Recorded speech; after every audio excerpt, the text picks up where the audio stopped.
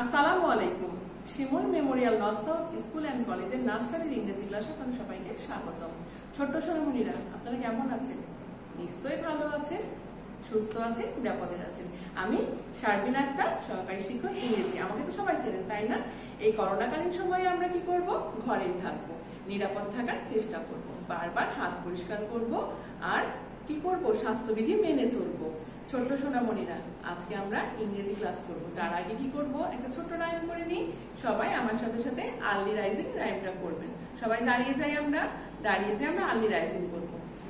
সবাই বলেন early to bed and early to rise makes a man healthy wealthy and wise পড়েছেন আপনারা? আসুন, এবার আমরা ক্লাস শুরু করি। সবাই শীতটা হাতে নিবেন। আর আমার দিকে লক্ষ্য করবেন।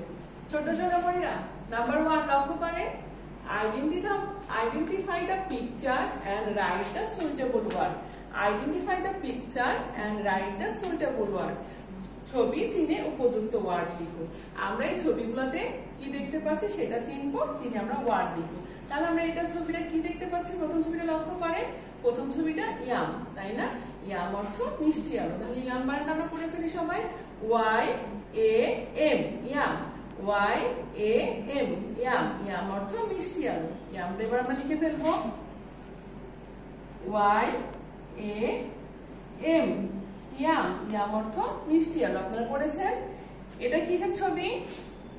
এটা জিরো, তাই না? জিরো বানানটা কি বলেন তো? Z E R O. Z E R O, zero zero অর্থ শূন্য। তাহলে আমরা জিরো লিখে ফেলি।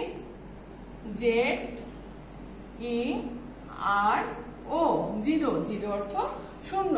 ছোট্ট সোনামণিরা, এবার আমরা নাম্বার টুটা চলে আসি, তাই না? নাম্বার টু লক্ষ্য করেন write the small letter beside the capital letter from P to T write the small letter beside the capital letter from P to T P থেকে টি পর্যন্ত ক্যাপিটাল লেটারের পাশে স্মল লেটার লিখব। তাহলে আমরা P থেকে শুরু করি সবাই। প্রথমটা আমরা কি লিখছি? পি তাই না? পিটা কি লিখব? ক্যাপিটালটা ওপরের ঘর থেকে মাঝের ঘরে। লক্ষ্য করেন, আমি কোথায় লিখলাম? ওপর থেকে মাঝের ঘরে। স্মলটা লিখব মাঝের ঘর থেকে নিচের ঘরে, তাই না? আপনারা এইভাবে সুন্দর করে ঘরগুলা লক্ষ্য করে লিখবেন। স্মলটা কোথায় লিখছেন? ক্যাপিটালটা কোথায় লিখছেন? দেখে লিখবেন। পি, তারপরে কি হবে বলেন তো? পি এর পরে কিউ, তাই না? কিউটা আমি ওপরের ঘর থেকে মাঝের ঘরে লিখলাম, ক্যাপিটালটা। স্মলটা লিখব মাঝের ঘর থেকে নিচের ঘরে। পি কিউ তারপরে আর তাই না? ক্যাপিটালটা আমরা লিখব ওপরের ঘর থেকে মাঝের ঘরে। স্মলটা লিখব আমরা শুধু মাঝের ঘরে। লিখেছেন আপনারা? পি কিউ আর এবার লিখব আমরা এস এসটা লিখব ক্যাপিটালটা, ওপরের ঘর থেকে মাঝের ঘরে, স্মলটা লিখব শুধুই মাঝের ঘরে। তারপরে কি লিখব? টি তাই না? টিটা লিখলাম আমরা ক্যাপিটালটা ওপর থেকে মাঝের ঘরে, স্মলটা লিখলাম ওপর থেকে মাঝের ঘরে দিলাম। আর এই মাঝের দাগ থেকে একটু ওপর দিকে একটু দাগ দিয়ে দিলাম। তাহলে আমাদের স্মল টিটা হয়ে গেল। এবার আমরা পড়ে নিই সবাই। P Q R S T P Q R S T ছোট্ট সোনামণিরা আপনাদের লেখা শেষ হয়ে গেছে না? এবার আমরা নাম্বার থ্রিতে চলে আসি। Write the name of any two colours in English write the name of any two colours in English ইংরেজিতে আমরা যে কোনো দুইটা রঙের নাম লিখব। আমরা তো এগুলো আগে পড়েছি, তাই না? আমাদের মনে আছে। এখন আমরা কি নাম লিখব? আমরা রেড আর ব্লু লিখে ফেলি, তাই না? তাহলে বানানটাকে বলে নি আমি। R E D red R E D red red অর্থ লাল। R E D red red অর্থ লাল। ব্লু বানান কি? B L U E blue B L U E blue blue অর্থ নীল। তাহলে আমরা লিখে ফেলি red R E D red red অর্থ লাল। ব্লু লিখে ফেলি। B L U E, blue blue অর্থ নীল। আমরা লিখলাম রেড ব্লু। Red blue. ছোট্ট সোনামণিরা নাম্বার ফোর লক্ষ্য করে। Write the middle letter. Write the middle letter. Middle মানে কি? মাছ তাহলে আমরা কি করব? মাঝে লেটার লিখব। Write the middle letter. মাঝে লেটার লিখুন। তাহলে আমাদের কি কি আছে আমরা বলি দেখিনি। আপনাদেরকে আগেই বলেছি, যখন আমরা দেখব বক্সে ক্যাপিটাল থাকবে, তখন আমরা ফাঁকা জায়গায় ক্যাপিটাল লিখব। আর যদি আমাদের স্মল থাকে, তাহলে আমরা স্মল লেটার লিখব। তাহলে আমরা লক্ষ্য করি, প্রথমটা কি আছে? ডি ড্যাশ ডি তারপর ফাঁকা মাঝখানে এফ তারপর হবে কি? ডি ই এফ তাহলে এখানে আমরা ই লিখে ফেলি। মাঝখানে আমরা ক্যাপিটাল ইটা লিখে ফেললাম।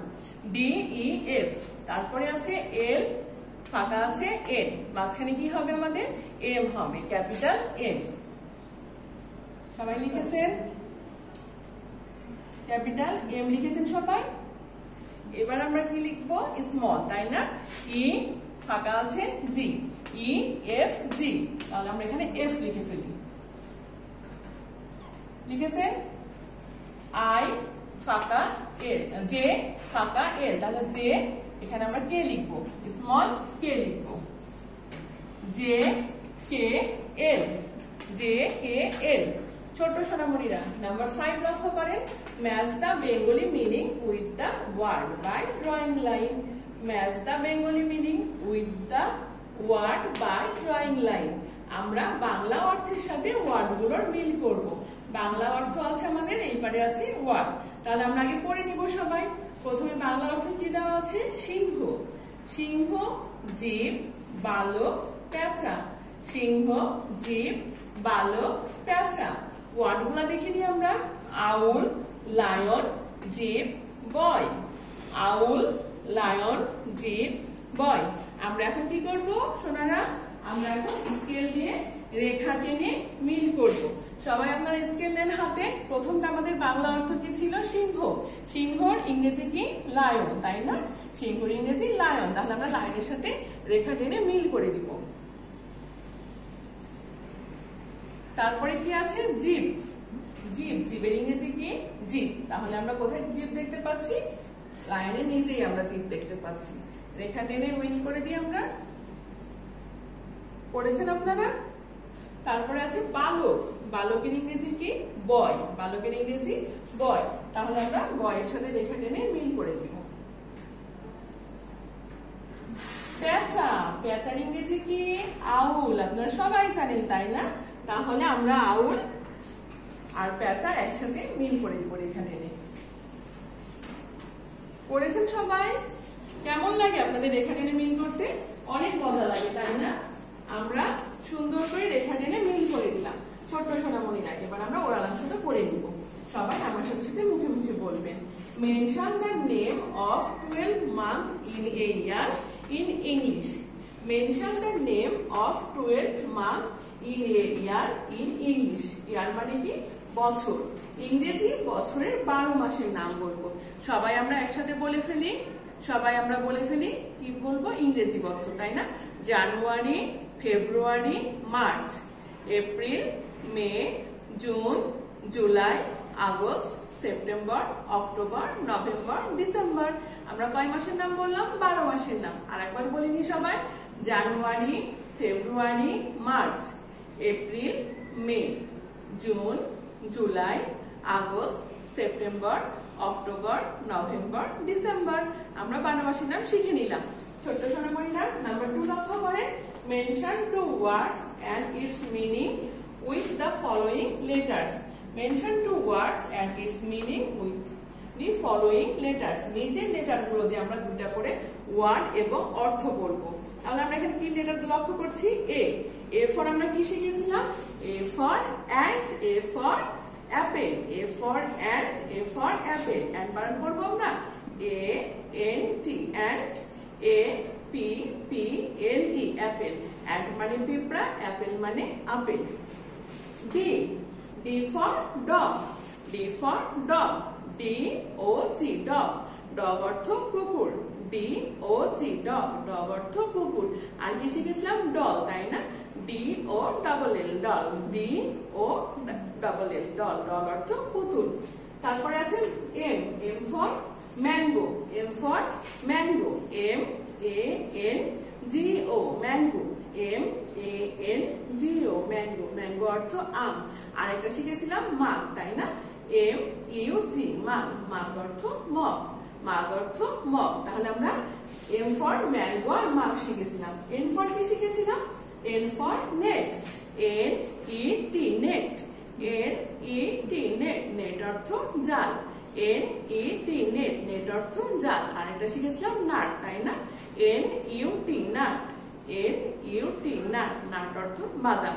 N for net N for nut ছোট্ট সোনামণিরা, কেমন লাগল ক্লাস করতে? আশা করছি সবার ভালো লেগেছে, শীতটা আপনারা সম্পূর্ণ করেছেন। সবাই ঘরে থাকবেন, নিরাপদে থাকবেন, এই কামনা করি। আল্লাহ হাফেজ।